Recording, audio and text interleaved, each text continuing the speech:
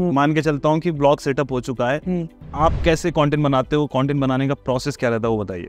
ठीक है तो कंटेंट बनाने का प्रोसेस टोटली डिपेंड करता है हमारा कि हमारी नीश कौन सी है। अगर जैसे हमने बताया हम जनरल नीश पे काम कर रहे हैं तो जनरल नीश में कंटेंट रिसर्च करना इतना मुश्किल नहीं होता क्योंकि इन्फॉर्मेशन बहुत वाइडली अवेलेबल होती है। हमें बस फैक्ट्स का ध्यान रखना होता है कि हमें कौन कौन से फैक्ट्स हैं जिनको अपने यू नो टॉपिक में अपने ब्लॉग में डालना है। उनके हम पॉइंट्स बना लेते हैं एंड फिर राइटर को आगे फॉरवर्ड कर देते हैं। राइटर एक जनरल जैसे आर्टिकल लिखता है उसमें वो सब पॉइंट्स ऐड करके कंटेंट हमारा पब्लिश हो जाता है। ऐसी ऑप्टिमाइजेशन वगैरह हम अपने यू नो वर्डप्रेस में ही करते हैं। रैंक मैथ यूज़ करते हैं वो जो बेसिक सजेशंस बताता है। रैंक मैथ एसईओ प्लगइन है लाइक अगर आप आर्टिकल बनाते हैं तो रैंक मैथ काफ़ी पैरामीटर्स बताता है कि आप ये चीज़ें ठीक करो अपने आर्टिकल में।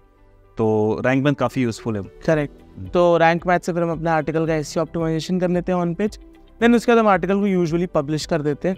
एंड उसके बाद अगेन हम न्यू टॉपिक रिसर्च करते हैं। रिसर्च करने के लिए हम Google Trends as well as हम एच का यूज़ करते हैं कीवर्ड रिसर्च करने के लिए। Okay. जैसे लास्ट वीडियो में पूरा स्टेप बाय स्टेप बताया था। सेम प्रोसेस में अगर हम ऐसे कीवर्ड्स पे काम कर रहे हैं जो लॉन्ग टर्म एवरग्रीन सर्च होते हैं तो वहाँ से हम कीवर्ड्स निकालते हैं फिर उनके और कीवर्ड्स निकालते हैं एंड अकॉर्डिंगली कंटेंट रिसर्च करके उस पर कॉन्टेंट बना तो डेली के कितने आर्टिकल आप पोस्ट करते हैं? डेली के हम इस वेबसाइट पे 10 से 12 आर्टिकल पोस्ट करते हैं हैं। दस से बारह? हम्म।